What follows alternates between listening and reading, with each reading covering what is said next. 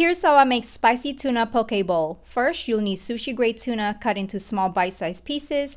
Add some soy sauce, sriracha to taste, sesame oil, green onion, and sesame seeds. I don't prefer to have the mayo here. Now give it a quick toss and refrigerate. In the meantime, slice your cucumbers thinly like this, then an avocado. Here, I'm adding a mixture of rice wine vinegar, sugar, and salt to some sushi rice. I like the folding and cutting method. I find stirring the rice makes it mushy. To assemble, I'm adding the rice into a bowl the spicy tuna, avocado, cucumber, sea green salad, and this is where I like to add some Japanese mayo, sriracha, green onions, sesame seeds, and of course seaweed. And that's it.